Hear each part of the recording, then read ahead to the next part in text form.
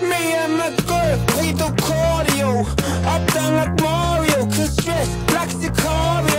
But that catches party on. Uh, I'm a. Welcome back to I Know Football.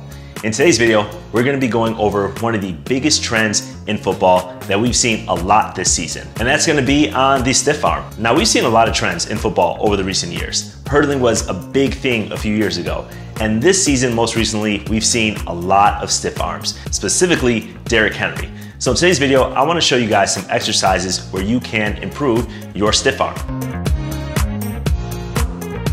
Now, stiff arming in football is nothing new. You see it in just about every level of football, and the action of the stiff arm is actually something that's quite natural as a runner, as long as the ball is in the opposite hand of where you're trying to stiff arm. Now, when we look at the actual motion of a stiff arm, of pushing a defender away, there's actually three main muscle groups that are engaged in that motion. First, you're gonna have the shoulder, and specifically, you're gonna have the anterior deltoid. That's gonna be the front part of your shoulder that's responsible for moving your arm up and down in this motion. So when you think about a running motion, you think about that stiff arm, that's gonna be the first part that activated the anterior deltoid, that front part of your shoulder. The next muscle group we're gonna look at is actually the pectoral muscle. That's gonna be your chest. That's actually part of the movement as well. You wanna have a strong chest to have that pushing motion of when you're engaging in that stiff arm. And then lastly, of course, we're gonna take a look at the tricep. That's gonna be very important for that arm extension at the end of that stiff arm to make sure you're pushing the defender away.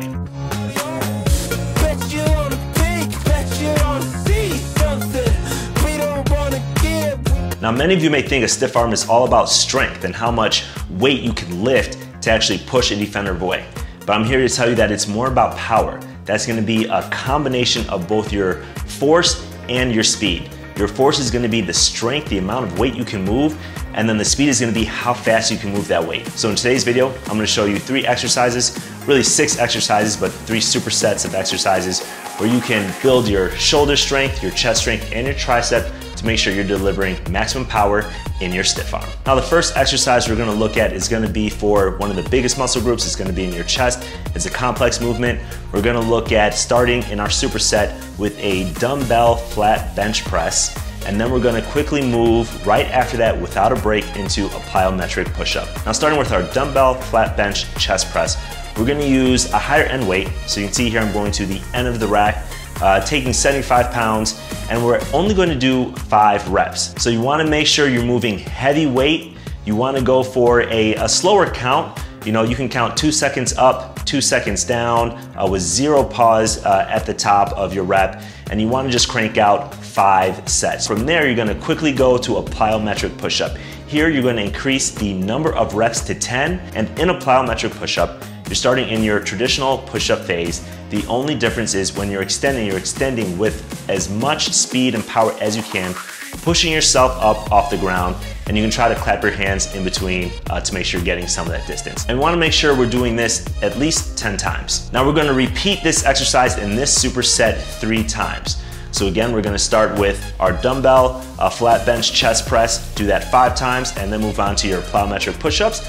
and do those 10 times. Now between your sets, you wanna make sure that you're taking about a minute to two minutes in between to give your muscles a chance to recover. Now after you've completed your three sets of this superset, we're gonna move on to the next exercises. Now our next exercise is gonna focus on the anterior deltoid, that front part of your shoulder. And again, we're gonna do a superset. We're gonna start with our seated dumbbell shoulder press, and then we're gonna move into kneeling medicine ball throws. Now I'm gonna reduce the weight a little bit. We started with the heavier weight with the uh, chest press, and now we're going to go to the middle of the rack. I'm choosing 45 pounds, and we're gonna do the same thing. We're doing five sets here of your shoulder press, and you wanna make sure, again, you're using that same count.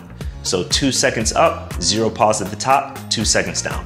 We do that for five reps, and then we quickly move into our kneeling uh, medicine ball throws. And you see here, you're doing the same thing. You're using as much force and power as you can to really throw that medicine ball in the air. Now it's important here, try to just isolate your shoulders, uh, don't use your legs, uh, squeeze your core, and making sure you're throwing that medicine ball, and you wanna do that for uh, 10 reps, just like in the last superset.